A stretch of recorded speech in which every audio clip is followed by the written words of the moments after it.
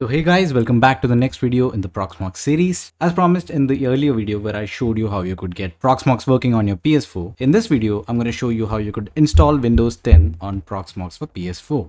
So if you haven't yet watched the earlier video, the installation video and the setup video, please do not continue with this video because this would not make any sense, okay?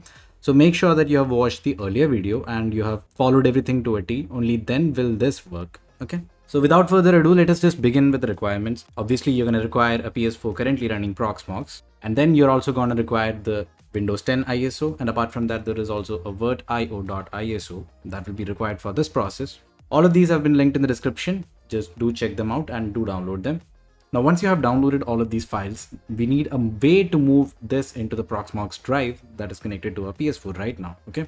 So for that, what we can do is we can go into the local section right here and then go to the ISO images. As you can see, I've already uploaded them to my system. But in your case, you got multiple options to upload the ISO files. The first one would be the most straightforward one. You could go to the upload options and uh, choose the ISO file from your computer and then click on upload. Depending on your internet speed and the SSD or hard drive speed, it will take some time. Or else if you have a direct link for these ISOs, you could click on download from URL and paste the URL for the ISO and uh, query the URL and then click on download to download it directly to the Proxmox drive. Okay. And yet we have a third option, which is probably the fastest among all the three. You could just connect the Proxmox USB drive to a Linux machine and copy the required ISO files to this folder that you see on your screen right now. Okay. This is probably the fastest method. Now, once we have the ISOs uploaded and ready for install, we can move on to the next step, that is creating the VM and starting the Windows 10 installation on Proxmox for PS4. To do that, what you have to do is click on create VM. And from this point onwards, make sure that you're following this tutorial to a T. You can make changes here and there and you're free to experiment. But uh, to begin with, you could use these settings. Okay. First of all, you could name your VM anything. I'm going to name it Windows 10 and then go to the OS section. And in the ISO image section, you could just use this drop down menu to choose this particular file that is the Windows 10 ISO. And under the guest OS section, change the type from Linux to Windows. And then under the version, do choose this option that is for Windows 10 okay? And then go into system and here we're going to change the machine type to Q35 and then the BIOS I'm going to choose OVM UEFI which is my preferred version. You could also go with the SeaBIOS which I guess is the legacy version but I prefer UEFI over legacy. So I have chosen this option. And as for the EFI storage just click here and choose this local okay? And then make sure that the SCSI controller is VirtIO SCSI single and then move on to the next portion where we have to choose the disks. Now for the bus or device, I'm going to change IDE to SCSI and then I'm going to choose the required amount of storage for this particular VM. So I'm going to choose a 50. 50 would be fine for me for this testing, but if you have a huge SSD or something, you could choose hundreds of GBs, okay? It depends upon you. And come to the CPU, now there are 8 cores on this PS4, so I'm just going to allot 6 cores for this process again you're free to choose four or six or whatever. Okay and then coming to memory for this particular tutorial we're going to be using 4096 which is safe for now. Uh, you could try experimenting with higher values but i haven't yet. So it's up to you to experiment. And then come to the network section. Make sure that the bridge is vmbr0 and under the model change this to virtio para virtualized and disable the firewall by clicking here okay? And then we go to confirm and then click finish okay as you can see, the new VM has already appeared here. Now what I'm going to do is I'm going to click on this VM and then I'm going to click on the start button right here. So you could check the status of this uh, VM right here. As you can see, it is loading and it says okay. And now we can go into the console menu where we could actually get the display of what's happening on this VM. Now, as you can see, the Proxmox Windows 10 is loading and it says to press any key. And you can press just any key on your keyboard and the Windows 10 installation will begin in a few seconds. Now as for this display that you see right now, there are multiple options. As you can see you could use some other uh, application like noVNC to uh, access this. Or if you have completed the installation of Windows you could easily use the RDP protocol that is remote desktop connection. Okay for now I'm just going to use this uh, browser based console okay? And now we have the steps. Now these steps are pretty generic. There are a few changes that are required for this. I'm going to talk about those in detail. The rest of them i'm going to breeze through okay? Now we have reached the portion where we have to choose the drive where we want to install this particular os to Now, as you can see, there are none here. So we'll have to load the driver for this to work properly. So what I'm going to do is I'm going to go into hardware and then under the CD drive section, I'm going to double click here and then I'm going to change the ISO image quickly to VirtIO and then click OK. Okay. And then go back to the console.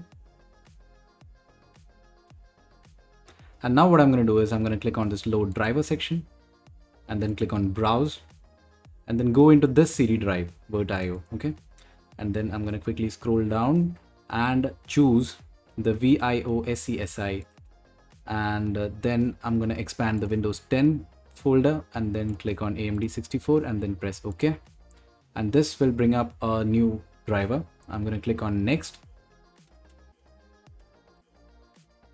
Now, as you can see, the 50 GB that we had allocated to this VM is now visible. Next, what I'm going to do is click on new and then click apply okay and this will create the necessary partitions for installation and that's it it's done and now the installation will say that windows can't be installed on this particular drive. Now this is a genuine error because right now we have loaded the VirtIO iso we'll have to shift it back to the windows 10 iso and for that i'm going to go into hardware. And then under cd i'm going to change it back to windows 10 and click on ok. Now go back to the console. Now let's try refreshing quickly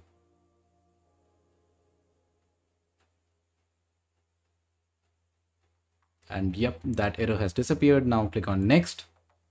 And uh, right now the installation is going to happen. This is going to take quite some time. So we're going to wait for that to complete okay?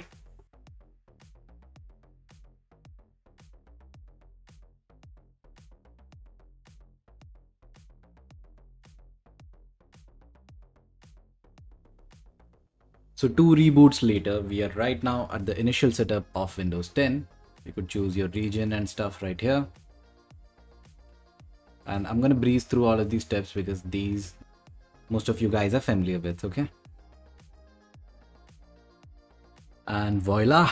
Right now we have Windows 10 running on Proxmox for PS4 now the first thing you're gonna notice right here is that we don't have internet connection right now. Let's fix that okay? So for that I'm gonna right click on the start menu and go to device manager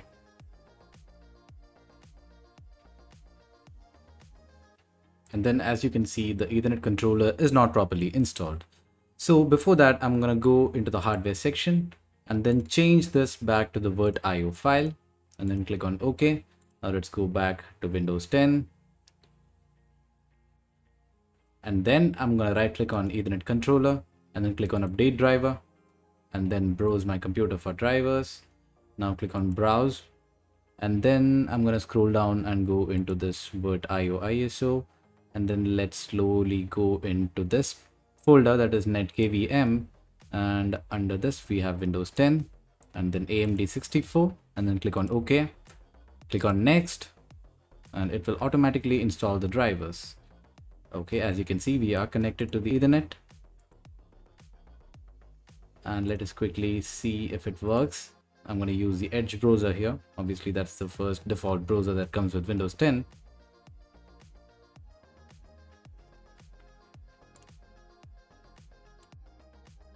And let us go to our favorite website, ps4linux.com, isn't it? And yep, here it does load. Now just for the sake of it, let us quickly run dxdiag to see what we are working with here. Hmm. Choose run and then type dxdiag and press enter.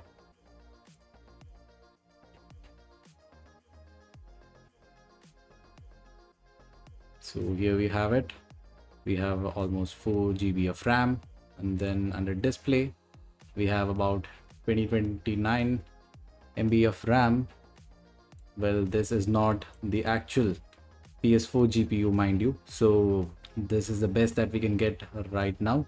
But as promised I will be working on GPU pass through I cannot guarantee that it will work or if at all it is possible but I'm not gonna give up as of now I'll be working on it. And that's it for this video, guys. So if you did like it, please click on that like button, subscribe to the channel and click on that bell button so you receive the updates as soon as I post a new video. And if you like my work and if you would like to support further of my endeavors, including the GPU pass-through project, It would be great if you could donate some amount to this project.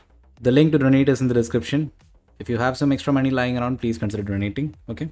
I'll see you in the next video. Bye bye, guys.